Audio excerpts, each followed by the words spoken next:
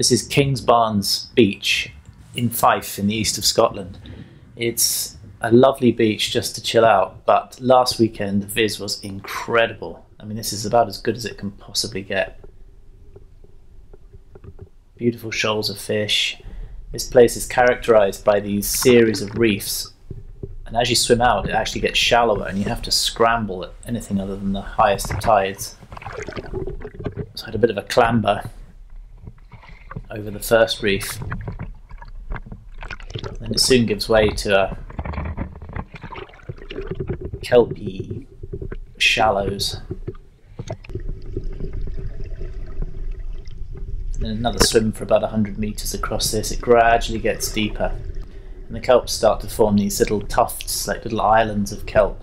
So it's really pretty when you can see what you're doing. Most of the time there you can't, but this weekend it was lovely. The sun was shining, the wind was blowing offshore, which was what was keeping the water really clean. Hadn't rained for a while. So I'm out looking for something tasty to eat, and by that I mean lobster and crab.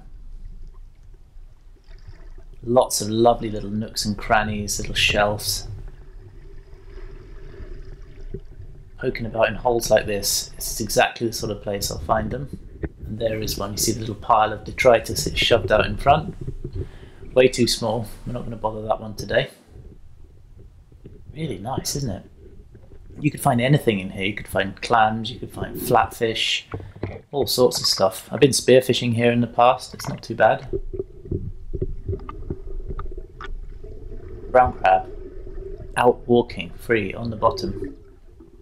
I've said in some of my other videos that recently the lobsters have been doing this a lot Typically, then you do that at night, they walk out free on the bottom, but I've been noticing that quite a bit lately.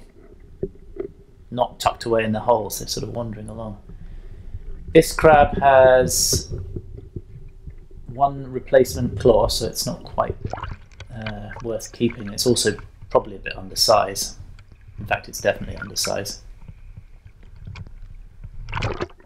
Nice to catch it though, and I would definitely be in the mood for a bigger one. See you later. Just loving the viz today.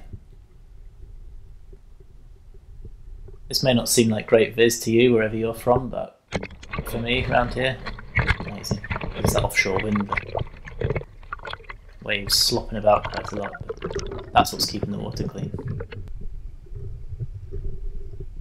See? Out and about. This this would be normal if you dive at night lobsters cruise about on the sand. One theory is there's just a lot of them at the moment. The population, the numbers are very, very big. There various theories as to why. Never mind the theories, that is a big lobster and I'm happy with that. Gripping it like that on the carapace, you can feel it doesn't give, it's rock hard which means it's an old shell, which means it's full of meat. It means there's a big lobster that's due a change of shells soon. If the shell's soft, it means there's a small lobster that's just acquired a new shell. But that one is perfect.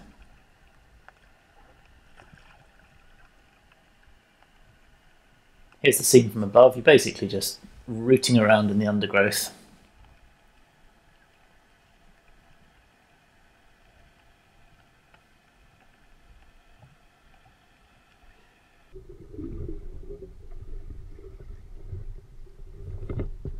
Trying to explore under these little shelves in the rock. That's where the lobsters hang out. There we go, textbook stuff. See the two red antennae poking out first. Now I don't have my lobster hook today, forgot it. So what I'm going to have to do is come back and try and either just poke my hands in and catch it by hand. Managed to managed to scrape it out with my hand and it ran out picked it up, give it a good feel. Is it soft? Flip it over. Has it got eggs? It's another cracking lobster. Really happy with this. Well, that's dinner sorted. I've been seeing a lot of this seaweed. It's called Dabberlocks. I think it's quite pretty. It's quite different from the other seaweeds because it has this sort of central stalk with what looks like looks a bit like a feather. Usually seaweeds are all the same sort of tissue type, if you, if you want to call it that. Bablox. I don't think it's rare, it's just nice. Kingsbarns is a really good place for seaweeds, though. the professional seaweed collectors come to make it into food products. Never mind the seaweed, let's get back on the lobsters. Far too small, that one. Nice to see. This is what I fancy, nice brown crab. I've seen a lot of small lobsters at this point, by the way. Haven't been filming most of them because I've got the GoPro in one hand and I'm um, diving, fishing things out with the other, so it's kind of tricky. Came across this clump of um, old creels. There was about three, possibly even four, all wrecked and all tied together. I don't know what's happened. I don't know if they've been deliberately dumped or if it was a string of three that just got whipped up in a storm and all tangled together. But they look like they haven't seen any action for a very long time. Now the brown crab. Just a wee one, won't be bothering this one.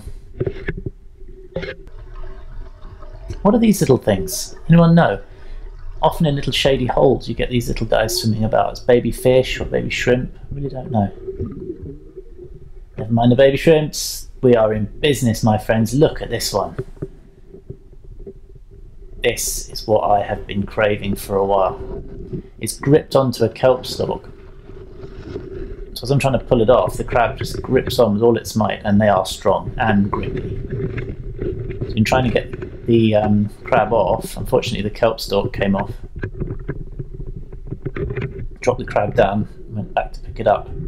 Now these these creatures can really hurt you. A lobster, if it bites you, will hurt you. If this thing bites you, I reckon it could break a bone. They are so strong and they really want to use those claws as well. So the safest way to hold them, it's not like what I'm doing now, but I'm doing a one-hand wonder, see, because I've got the GoPro in the other hand. The best way to hold them is to hold them by the back legs. That way they can't bite you. That's a safe position to hold a crab. Now the reason I'm not putting it in my dive bag is I've got two lobsters in there and this crab will destroy the lobsters. It will munch them apart. By the time I get back to the beach, I'll just have pieces of lobster and one grumpy crab sat in the corner of the bag. So I'm making my way back to the beach now and I'm just going to swim back with this guy in my hands. I'm pretty happy about that. Taking him for a little tour. Flying over the kelps.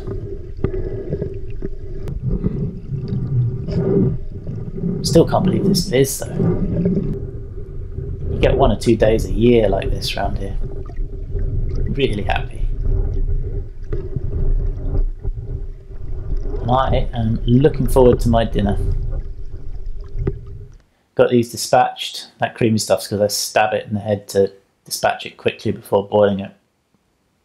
So I'm going to plunge them in ice water and eat them tomorrow. Day two.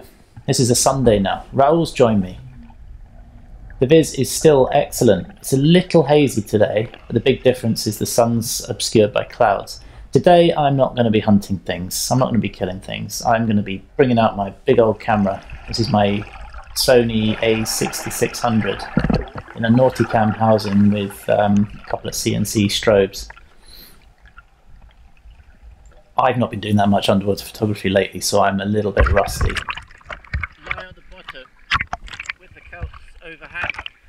If you stay on the surface in a nice sort of straight position directly above, you get I'll get you in the Snell's window with the kelps in the foreground. In case you couldn't figure out what I was saying there, I was basically coming up with a plan. I'm telling him to sit above me. I'm going to go down under the kelps sit on a patch of sand with kelp all around, shoot up through the kelps, light them with the flash, and try and get him silhouetted on the surface. Here's my first shot. That's straight off the camera.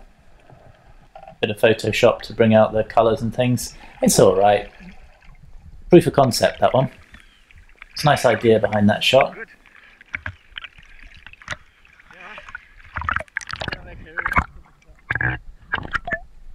repeat it. The idea is really good. Were the flashes going? They were, yeah. Let's go try again. So Raul's got his instructions. He's got to try and hold a sort of photogenic pose in the water immediately above wherever I go. Tuck myself in, nice kelpie spot. I did actually take about 30 attempts at this photo, but I'm going to show you a couple. There's the strobes flashing, that's it off the camera. Photoshop, rotate it, bring out the colours. This is a real quick five minute edit for the sake of this video, but I think that's alright.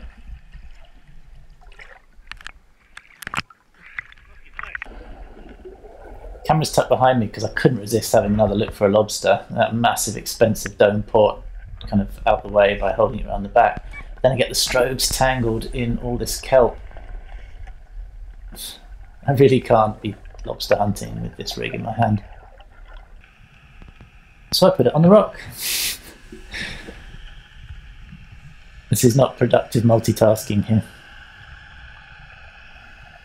Well, that was a great weekend. Really enjoyed that. Some lovely viz, got some cracking lobsters and a delicious brown crab. Really enjoyed eating that and managed to pop a few photos and got at least one keeper.